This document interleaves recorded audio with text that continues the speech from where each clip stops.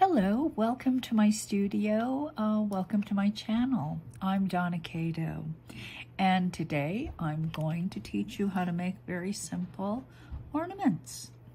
Now, last year we did the peace dove, and that was done with um, Starry Night canes.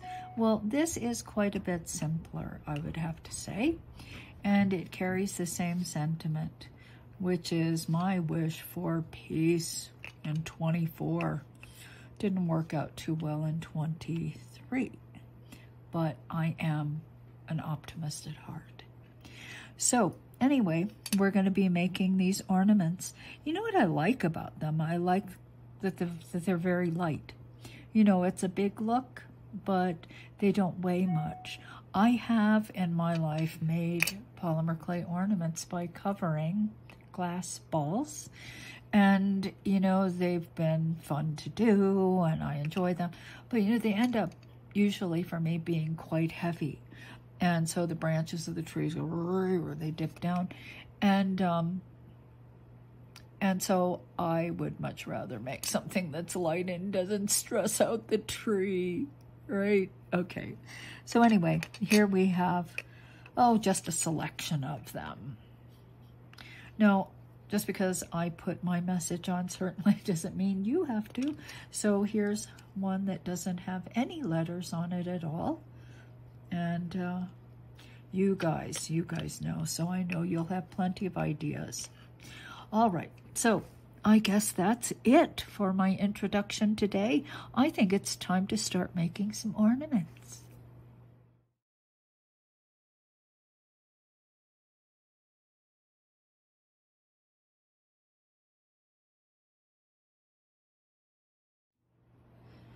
So let's talk a little bit about this uh, foil that I'm using. First of all, all of these, you know, these thin strips, they were actually purchased uh, and, and described as uh, foils for nail art, okay? And that's why they're this very thin, strippy shape. All right. Now, there is nothing about these that mm, would require that they be heat stable, right? Because that's not the way they're used. You're not going to put it on your finger and then stick your finger in the in the oven. So it, it, they really don't have to be. And so when I first started using them, I took this beautiful gold and used it, and I have a ton of it here. See this roll? It's beautiful, isn't it? Beautiful. Well, I did it, and I put it in the oven, and it turned into sort of a silvery color. So it's not really heat stable. Now, that is not to say that all of them are not heat stable, because some of them are. For instance, this red and this green, that's exactly the way they look when you look at them like this. But there are others that change, okay? So I used something like, where is it? And then some just don't transfer hardly at all. See this blue? Oh, it was a mess. This was also one that was hard to do. So, you know, it's a good thing they're not terribly expensive, but you're going to have to do some experimentation if you use them. All right? Okay. Now, the way they transfer onto clay is the same as I'm going to show you, because I did find something that uh, that holds the gold, and it's this. And on Temu, they called it heat transfer foil. Heat transfer foil. And I will put the link down below. But once again, you have to test it because I went ahead and, excuse me, purchased these thinking that they were the same thing. All right, nice color, beautiful color. Unfortunately, it doesn't transfer worth beans. And you know what, when I felt it, I thought, oh, this feels a little bit different. There was something a little bit different. It is a chemical coating on Mylar, as are the other ones. And I can tell because I can scrape it off like that. But this is a little resistant to sticking to the polymer. Okay, as is this. So I don't know what I'm going to do with these. They weren't very expensive, so maybe they will go in the craft materials bin when I move. I'm going to try to move. Okay, so let me set those aside. I am going to go ahead and use this gold, okay? This is the gold that I bought from Temu and I tested and it holds. What you see here is what you get after it's cured in the oven. These are some green pieces. All right. Now, before I use it, though, what I want to do is take this stamp. I also bought this from Temu. Yeah. I know some of you are like, oh, don't buy from Temu. I'm sorry. Now, I'm not a very good stamper. I mean, I, I will admit that to you. I'll admit that to anybody. So what I'm going to do is take and put my clay, which has been rolled through setting number two, on the stamp. I'm going to dust the back with some cornstarch. And then I'm going to take the boss and I'm going to roll it. The boss. The boss. Okay, some of you may know who Teresa Salgado is. She has a company called Tiny Pandora, and she sells this the Boss is fantastic. Look at this thing. It's so big. And this was a gift from Lynn Taylor. Thank you, Lynn. I'm going to roll my sleeves up. Okay, here we go.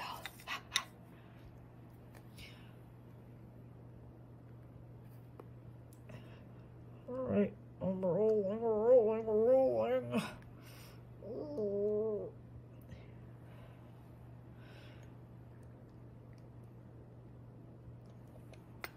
I didn't soften this clay. Probably. I could have. It would have been a little easier to roll into the stamp if I had softened it a bit, but I didn't. Okay, not a problem. It just means I have to push harder. Ta-ta. Okay, so you know what? That's okay. I could have pressed deeper in here maybe, but I'm gonna I'm gonna go with it. I'm going with it. And I do like this stamp because it's kind of small details. I like it. Yeah, okay. Now, I'm going to take my little brass rod and just roll it lightly to flatten the surfaces. Just flatten them a bit. All right, now let's take this, put it on here.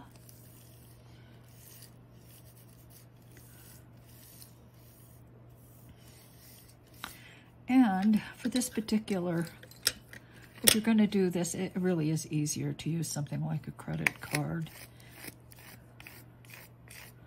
Like so. And whip it across. Like this. And, you know, Nancy Banks. Once again, Nancy Banks. Nancy Banks is actually, I consider, the mother of transfer foil techniques in clay. Yeah. Before she came along, we had no idea. We thought, this, what is this stuff? It's made for t-shirt transfers. What are you doing? And then she showed us, and it was like, no way. No way. Okay. Yeah. Mm -hmm. Okay. All right, you ready? I'm ready. Now I'm going to just grip a corner and I'm just going to pull it away fast, like ripping off a band-aid. And that is pretty cool. Now, the coolness doesn't end there. Look, I can take this and put it on more clay and transfer the pattern. I love it. I'm gonna put this aside someplace special.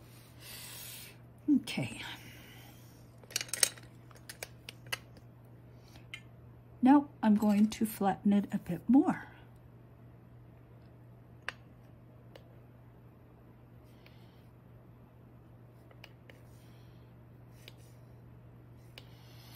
And there are parts that I wish I had hit like these little rings here, but I didn't.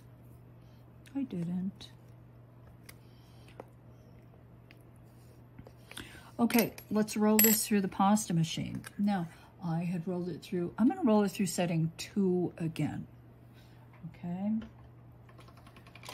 just to see. So that's setting two. Now I'm gonna roll, see, I rolled through setting two this way. I'm gonna place this edge on the rollers and roll through.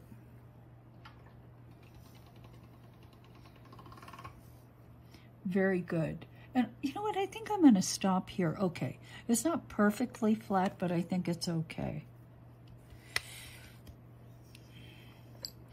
If I roll it through again, I'll put this edge on the rollers, but okay, I'm to do it. So I'm resetting my machine to setting four. I'm to put this edge on the rollers this time so the pattern will spread that way. -mm -mm. Oh, excellent. I like it. I like the stamp. Okay, so now what size ornament shall we make? This is good. I can make a big ornament and it's not going to be heavy, which is also a plus. So maybe I'll cut there. I could do two. Oops. Oopsie. Oopsie. Do I want it there or how about how about right there? Okay. I hate to waste good pattern, but I'm just going to set this aside. I might think of something else to do.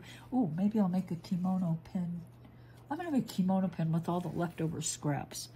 Okay. Doink, doink, doink, doink, doink. All right. These are ready to be put on my little form. I'll be back. Okay, guys, so um, this is actually a pickup shot. You know, I did the whole class and then I figured out an easier way of doing this. And so that's what I'm going to do. An easier way of putting the whole thing together. So you probably recognize this. This is the opposite. Remember when I stamped into the clay and uh, transferred and this is what was left. So let's transfer this back onto some clay right now. Okay. Yes, so this happens to me sometimes. I um I do something and it's fine and and then I sit back and I think about it for a moment and I realize that there is a much simpler way of doing it, so I have to show you the simpler way. Mm -hmm. That means that I have to reshoot it. All right, so I'm just transferring, just warming this up. Mm. My clay's been rolled to setting number three. I think that's fine, three or four. I just want a medium setting or a medium thin setting. That's all. All right, so let's just pull this off. One, two, three. There we go. That's fine. Left some behind. Now, if you want to, you can just, of course, put it back down. Match up the pattern again. Put it down. Sometimes it isn't the easiest. This just wants to stick to the whole thing. So anyway, I, I think it's fine. That's what I left on the Mylar. Okay, so let's just pick this up. And I am going to cut, make the ornament, this one. Okay, so I've got when I scoot this over, I might be able to get two out. Just like that. Let me get this one too.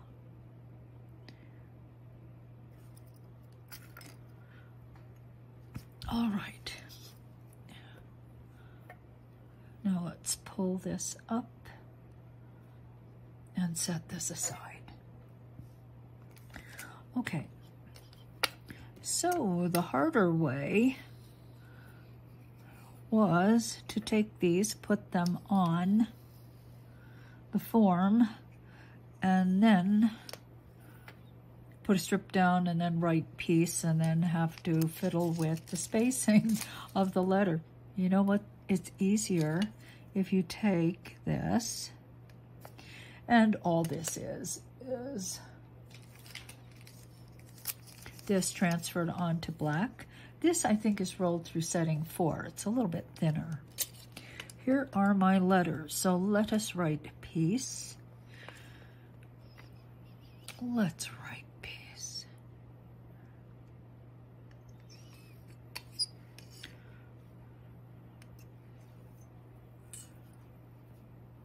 And when I do this, it's easier for me if the letter is actually stuck to my work surface, I take the blade and I pick it up like that.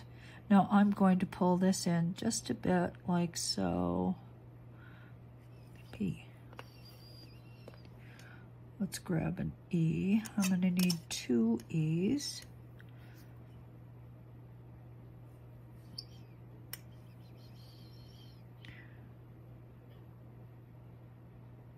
E.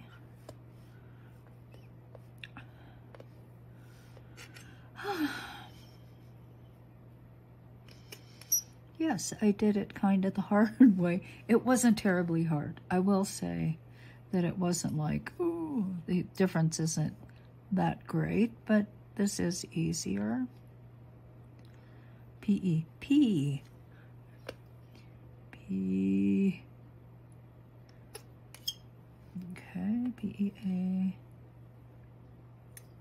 Okay, stick. My hands have lots of clay on on them, and that's kind of why the clay wants to stick to me.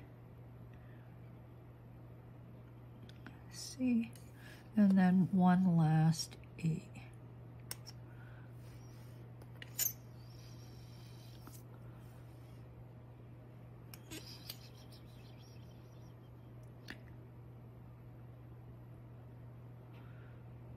Okay. All right, now I'm just going to cut the strip.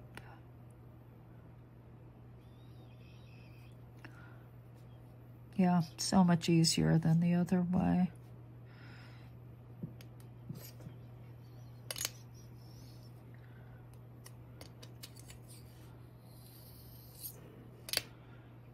Now, let us just take one and center this strip Find the place where you want it. Maybe like so.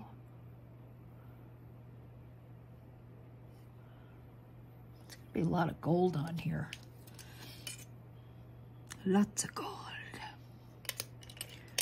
You know, I think I'll use my scalpel and just try to follow the curve of the disc Let's get rid of that.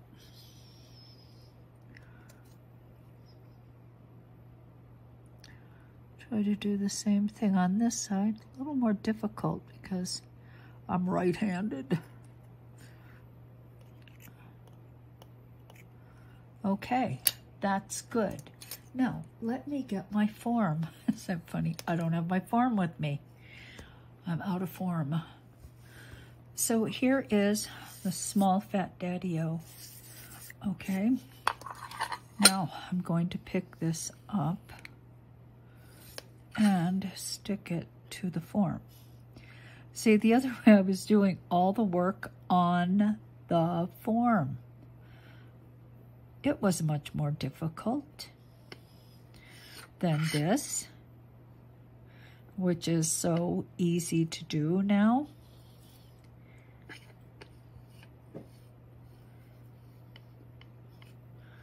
like so.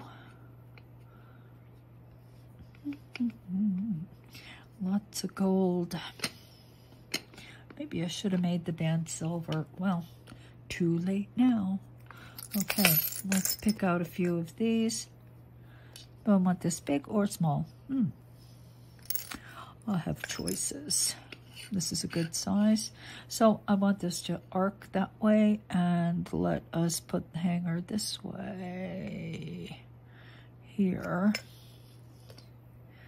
And the hardest part of this process is actually finding the opposite point, like the perfect opposite point, you know, right down the middle. Very hard for me to find the middle. Okay. Boink. All right. Now I'm going to replace these.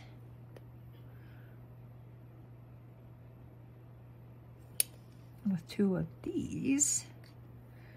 Whoops. Whoopsie, get out. There. Okay.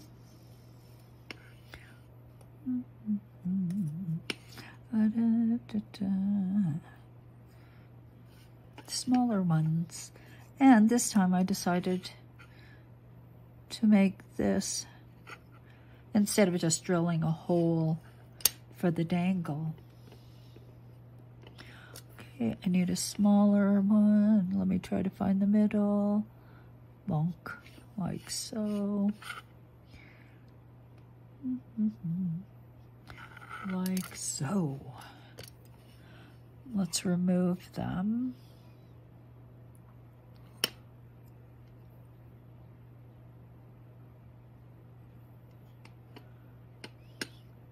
And now this you must do while it's on, on the form. And that is, if you're going to put little crystals in, you have to do it while it's on the form because you can't, if you do it flat and then you try to move it, the crystals will all drop out. Yeah, they do. They do, they do, they do. So let's see what we're going to use here. Da, da. Da, da, da. That's too big. I'll use... Oh, I caught it on my knees. Phew. Thank heaven. Okay, let's put one there. And I'll just show you how to do one. Take it out. And I'm just going to use a ball stylus. Pick up a little bit of liquid, drop it in the hole. Pick up the crystal and drop it in the hole. Come on. Yeah, this one is, this little cutter is just a little small for these crystals, but it's, it's not too bad. Okay, now I need to get rid of some excess clay right there. Excess liquid, I think. So this is just a clean brush, like so. See? And so you can proceed and put as many as you like or as few. You can change up sizes, of course. Maybe the next few should be the smaller size. Then I even have smaller ones. And yes, I even have tinier ones than that. So I will continue and get these little crystals in and then I will return so I put all the crystals in. now, when you're selecting these cutters, it's really good. If you can find exactly the same size, that's great. If you can't find exactly the same size, look for one that is a bit smaller. Not bigger, just a bit smaller, okay? All right. And the reason for that is because we're going to be backing the whole thing with black. And maybe in this case, it wouldn't much matter if you could see the, uh, the backing, the black backing. But sometimes it does matter. If you're working with a color, something like that, you, you don't want to see that thick black around the crystal that you will see because that's the backing color, okay? All right, well, I hope that was clear. This is going in the oven. So they're both done. I made the second one with a wider banner or band across. Okay, so they're going in the oven now. All right. These are cured. It's time to just pop them off of the form, which is easy enough, you see. Now, I cured these for about, mm, probably 20, 25 minutes. And so, you know, I didn't cure them that long because for one thing, I am going to have to back them next and cure them again.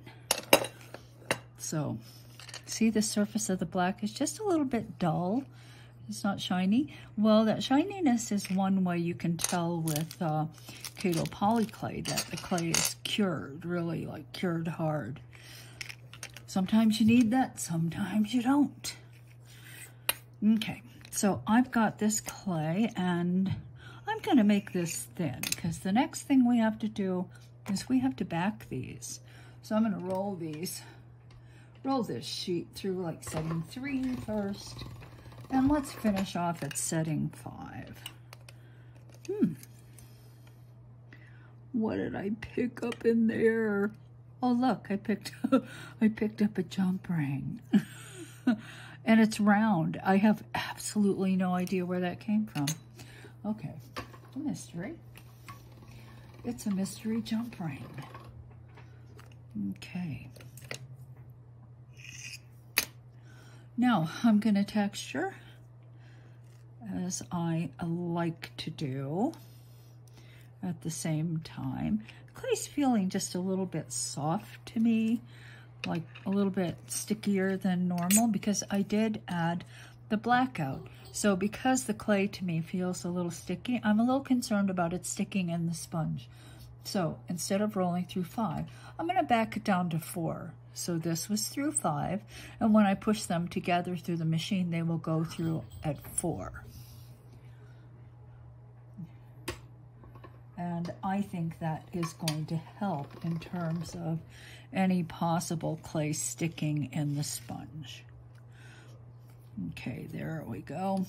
Now I will repeat the process again for the other one. We'll just do one now. All right, so the easiest way I have found to deal with this is to actually select a cutter. And make sure the cutter is big enough from top all the way to the hanging loop. This one has black clay on it. Let me get rid of that and push up my sleeves. Oh my goodness, it's cold here. It is cold. And I also have this guy, so you know what? This guy, I'm gonna cut another circle out. Like so. So that's for that one. This is for this one. And I have to roll one more, of course. I'd make one more for the other large, large one. I got two to do. All right, so let's look at these. I like them, I like them. But let me tell you, I think I like this one better. You see, I like the combined silver and gold. I think that the combined silver and gold is better from a design perspective because the letters in the word peace are white this looks better to me than this. Now, what could I have done here? Perhaps if I had made the banner silver, just silver foil instead of the gold, or this color, which was gold. no, this was actually, yeah, this was the original gold that turned to silver. So perhaps that would have actually been a better choice than the actual gold. This gold that I knew would be gold. Okay, so I think next time I'm going to mix metals.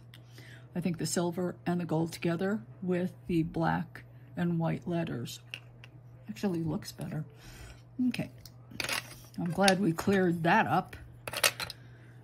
Of course, maybe I'll try colors like the reds and the greens. Okay, now I'm just going to take liquid clay and just spread it all across the back. Now be careful around here because that hanging loop is just kind of sitting there and I could pretty easily uh, doing, knock it off, which I do not want to do. Okay, come on. Yeah, it's cold down here in my studio, my basement studio.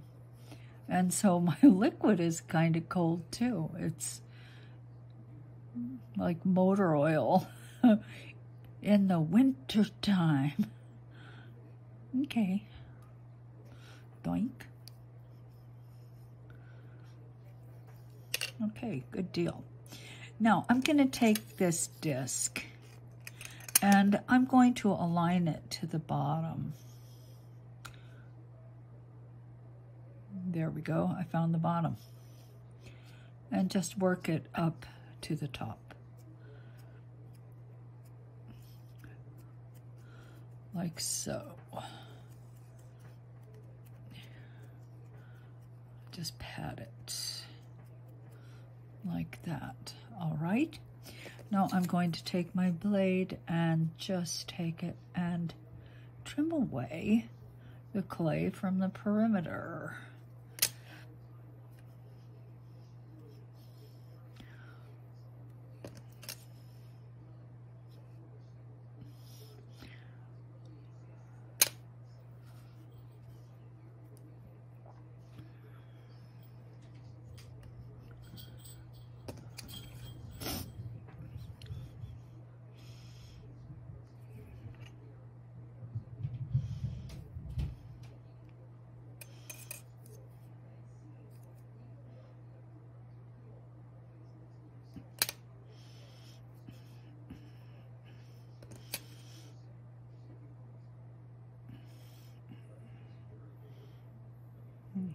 Okay.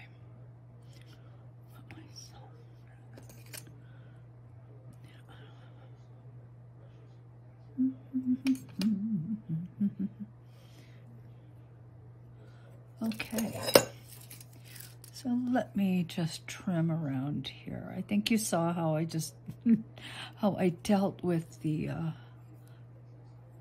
with the hanger.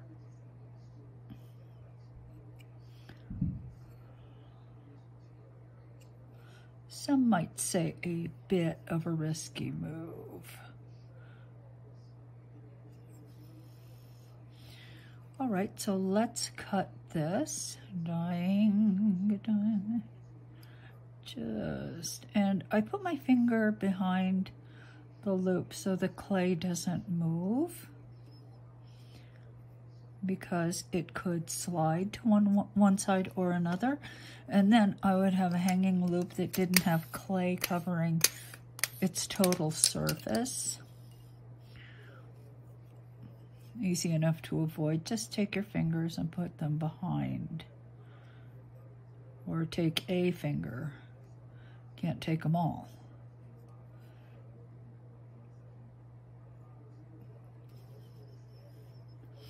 And that's, that's good. Now I'm going to take my acupuncture needle. I think I said this in some class. You know, when I first started using these, you could do Google and you could Google acupuncture needle and all these acupuncture needles would come up. Well, not anymore. Now you have to have a license to buy this. I might have said this before too. I mean, a license to buy this, but in some places you don't need a license to have a gun. Uh, that just doesn't make sense to me. Anyway, okay, there you go. Now, let me put my signature on the back. This is ready to be put back on the form and be cured again. Okay, signature canes for life Of course, I'm not that young. Some of you might be young enough that you would have to make more signature canes. I'm just not that young anymore. I'm an old lady. Oops. Oh, I'm an old lady. I don't know when that happened or how it happened, but it happened. Mm-hmm. Hmm. Am I a little off? I am. Is it, does it bother me? A bit, a bit. So this one, I think, okay, I'm just off. All right, so how do we get this back on the form? Actually, it's pretty easy. The clay is going to want to stick, so let's try to get the two sort of up in this area like that. This side got a little dirty. It's got a little extra clay or liquid. Was that where I put the liquid? Yeah, so that's just a little bit of liquid clay on there that can easily be scraped off like so. And to clean it, I can just take a little bit of alcohol on a paper towel. Clean it off. Here, I'm going to move that so I don't ruin that. Okay. And I will clean that off with alcohol and then put the two back on. So let me cover this one and then I will show you before it goes in the oven. So here is another ornament that I made. And I think you can see how this is made. So first of all, I, um, I took my sheet, this sheet, for instance, and I just cut it like that. Then I took the gold, like where's the gold? Anyway, the gold. And I placed a strip in the middle. I put them back together. Then I then I placed a strip in the middle and then I, anyway, it's a puzzle, right? And if you put the X down first, you can put the four pieces from this sheet together. Then I took another and I took a square cutter, this guy, and I cut a gold. I cut out the middle of here, replaced it, and then did the rest, you know, putting a crystal in and these little lines, all they are are, you know, I took a needle I took this needle and I just went like that. So I just made a pattern that way. Okay, this one's cute, smaller. Now, one thing I didn't tell you uh, with the last one, and I don't think it's going to be a problem because I did a pretty good job of pressing the clay up against the back, but if you have your acupuncture needle, please use it. Da, da, da, like so. All right, signature cane, and we are ready to cure this one.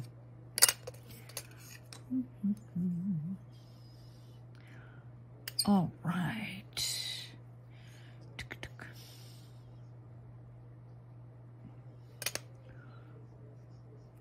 Okay, so I don't know if you can tell, but this was cured on a much smaller bowl, and that's why it's more curved. The other one was more flat. I like this. Kind of wish I had, cur I had cured the others uh, on a smaller bowl because they are a bit flat. All right, so let me cure this one. They're out of the oven, and uh, now what I have to do is sand this edge because I'd like it to feel better than it does, see? A little rough looking. Here's what it looks like after you sand it. It's a little better. So let me just take my Abranet P120 and just sand around both of the pieces. And then we are ready to talk about dangles. Yeah, dangles. Okay, so this won't take long. and we are almost done.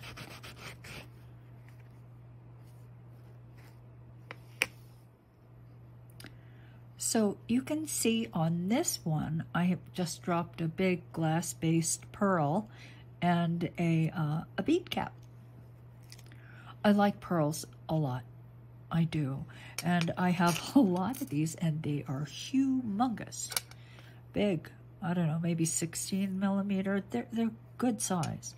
Now, I also happen to have these crystals, and I like the crystals a lot. I've had them for a very long time, and I am never going to use them in earrings or anything. So I might as well, I could certainly dangle this, these, from the bottom of this as well. Now, the good thing about them is, you know, when the light catches them, they are lead crystal. Um, they, they really sparkle. The thing about these, though, is that they have no surface coating, like an AB coating or, you know, a Comet Argent light coating or anything. So uh, a lot of the time you look at them and if there's no light on them, you don't see them. Yeah, it's true. And these are drilled. They're not drilled top to bottom. They're drilled side to side. Now, I think that if I chose to use this, it, this would be fine.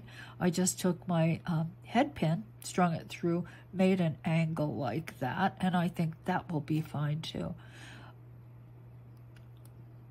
Yeah, I don't think it'll fall off, especially since at the top I'll do a closed loop. Okay, so let us do, let's say a pearl here, and then I'll use this guy here. You can use anything. Tassel would be cute. I don't happen to have any tassels right now, but it would be cute. Now, if you look at the hole and the thickness, I know that I can't make a little teeny tiny uh, eye. That's what the word I was looking for was eye. The eye has to be fairly large because the eye is going to have to go through here, through the, that double thickness, the thickness of the clay. Uh, so first let's make the neck. I'm just going to take and put that down. Bend this at a 90. Hello. Whoops. Little problem. Little problem. The hole is big.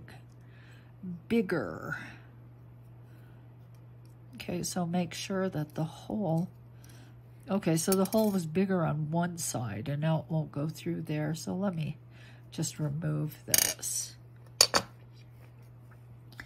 And shall I try stringing through the smaller hole?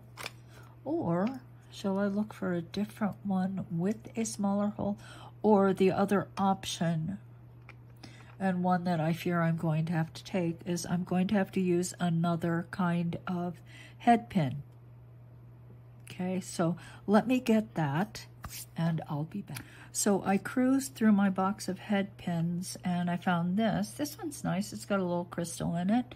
And this one has a knot on the end. And of course, these are big enough. This pearl's not going to slide off. Okay, so there's that one.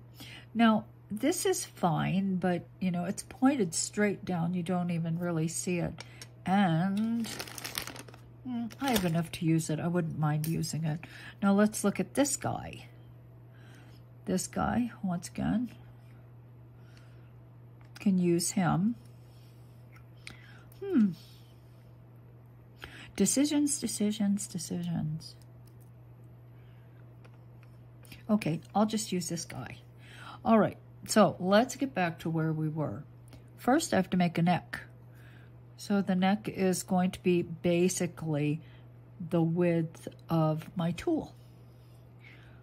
I'm going to bend it at a 90 degree angle like that. So, now, this is where that larger eye comes in.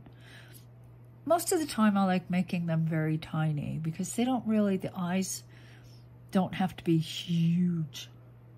This time it's going to be pretty big. So I'm going to take my tool position it about halfway because the closer you get to the tip, the smaller the diameter, of course, right? Right. So let's just take this and then I reposition because I want to make a loop. See, I've made a loop. So I got the neck, like that. No, it's a little off center. Now the goal is to have that loop centered over the neck. So let's just recenter it.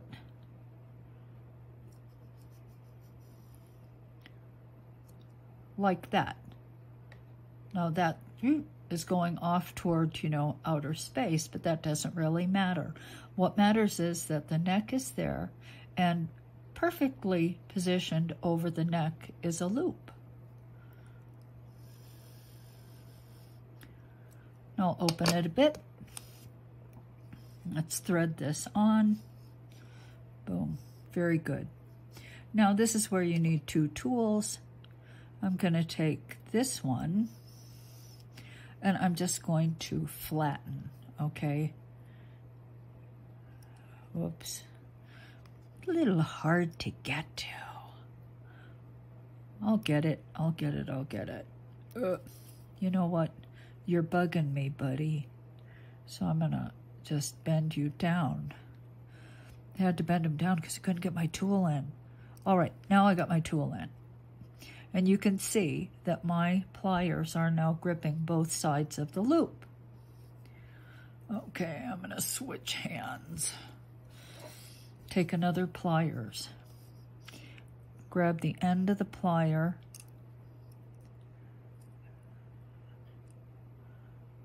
And wrap the end of the wire around the neck.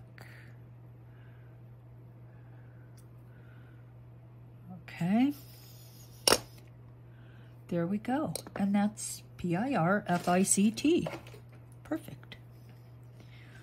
Okay, now let me cut away the excess. Let me cut away the tail.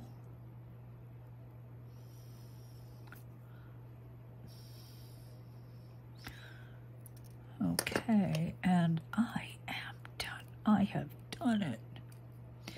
Oh, these are a little old. The plating is coming off of these little guys. They're very old. Does it matter for this? No. So I can feel free to use all of these for my ornaments. Well, these guys with the plating that's coming off. All right, so there is one with pearl. Now, let us use this guy. Okay. So first I'm going to make my neck and it's going to be a little bit higher because I'm going to probably have to reposition and pull the neck over, centering it over the crystal. Let me go even a little higher. Now, the thing about working with crystals this way is that they're extremely brittle. So if you bend your wire just the wrong way, bing, a little piece of the crystal is going to fly off. It's going to break. So you have to be a little bit careful.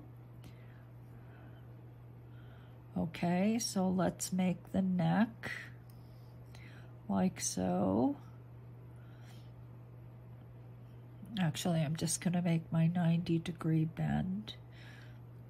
This isn't going to be the easiest thing I've done today because this keeps swiveling. Now, I'm going to put my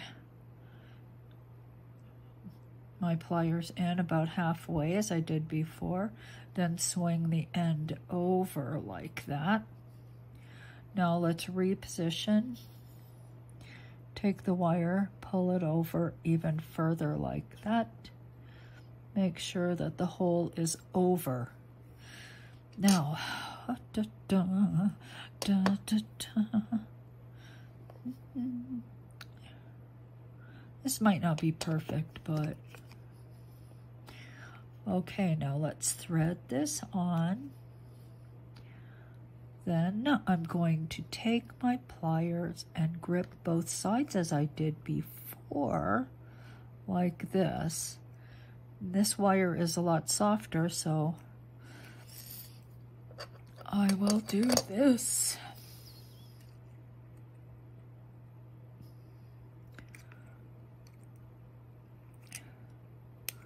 wrap it around the neck. I might have left a little too much that way. But we'll see. I probably did. Not too concerned about it, however.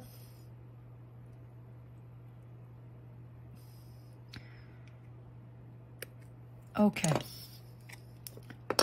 Now there's the crystal. It's kind of facing the wrong way, isn't it? Okay, so let's just take care of that.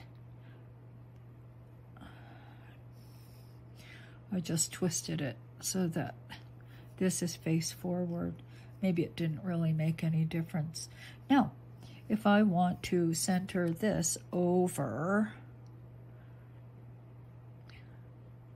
let me put that there and let me just bend a bit this way. And it might not be the most perfect solution, but it is a solution. Now it's hanging below. If I did it again, I would make this this a, a bit shorter. But I don't see that it's that big a deal for this. I could be wrong. I could be wrong, or I can maybe fix it this way. Let's straighten this out like so and push it through just a bit. And this is where you have to be really careful because you don't want to lose. Bing! Okay, so I push the end through.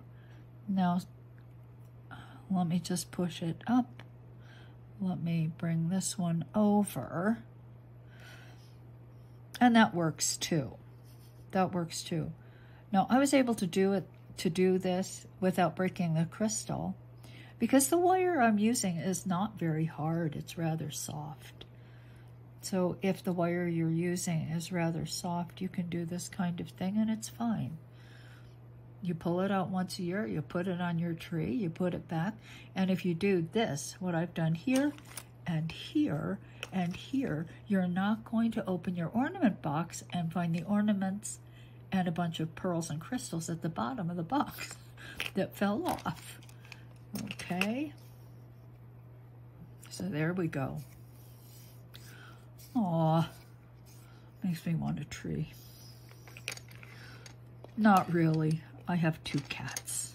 I'm not sure how they would do with the tree, but I do like this. Okay. And, haha, look, I made a kimono. Now, I've decided I'm going to make, every time I make a class, whatever it is, I'm going to try to see if I can make a kimono. This is a kimono, this is a kimono made from the overprinting in the members classroom, and this was the original one. So I've only really made two this time. But I think these will be great. I don't know. You can hang them, so maybe I'll put them on my Christmas tree if I ever have one. Okay. Hello everyone, Donna Kato here. Welcome to my channel and welcome to my studio and welcome to my class. Now, I can't believe it's been a year, but it has been. I don't know where the year went, but it sure did go. And last year, um, I did a piece of using Starry Night canes. So this year, my holiday project are these very simple ornaments. The sentiment is the same. It has not changed. It's what most of us want and seems so very difficult to attain. But we keep trying. So that's what this class is. It's uh, actually a disc. And what I like about these is that they're quite large, but they're also very light. I have in my life made Christmas ornaments by covering Christmas balls, and they tend to be really, really heavy. The ones I've made were quite heavy. Now, the good thing about them was, of course, if they dropped, they never broke. But uh, the bad thing is, you know, when you put like something that's almost a pound on a branch, well, that branch is going to dip. And uh, and so I think that these are kind of a nice solution, and they are quite easy to do. So I guess that's it. It's time to start making our little ornaments. So here we are at the end of class, and it took me five, probably six, seven, to arrive at a simpler way for for them to be made. Yeah, it took me a while. Uh, you guys know me. I get stuck in a rut, and then it's really hard to get me out of the rut. Something has to kick me out, or else I have to make like seven of the same thing before it occurs to me that there is a simpler way. And I did show you that simpler way. So I hope you've enjoyed this class. This is my, I guess this is my Christmas class. Last year was the dove, the peace dove, and this year is, well, these ornaments with basically the same message. So I hope you make them. I hope you enjoy them. And, uh, and on we go. This is Donna Kato, over and out.